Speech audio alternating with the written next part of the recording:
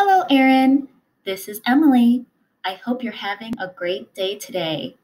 We are going to read a story today. I hope you love reading because there are so many fun stories to learn about. Today, our story is called Chores. Do you have chores that you do around your home? Kind of chores do you think they will do in this story? Let's find out. Chores. Fred washes the floor. Meg washes the dishes.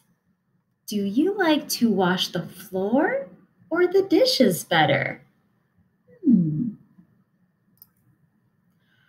Fred picks up his toys. What toys does Fred have? How many toys do you see?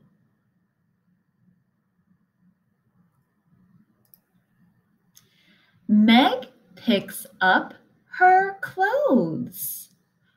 Wow, her clothes are very colorful. What color clothes do you like to wear?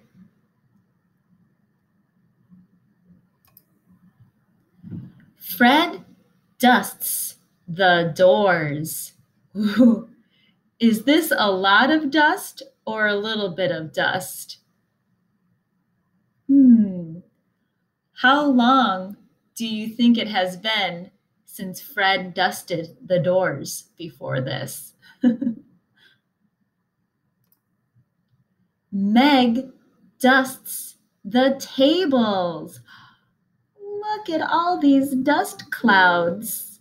Wow. now the house is clean. Wow.